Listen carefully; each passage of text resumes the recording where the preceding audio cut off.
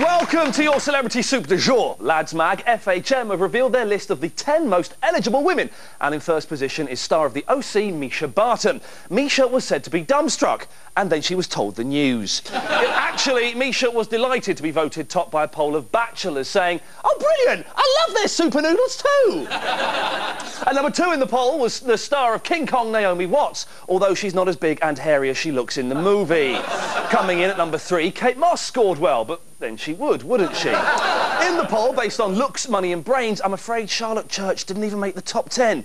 Yeah, but if it had been based on smoking, drinking and the orangeness of your boyfriend, Lottie would have cleaned up.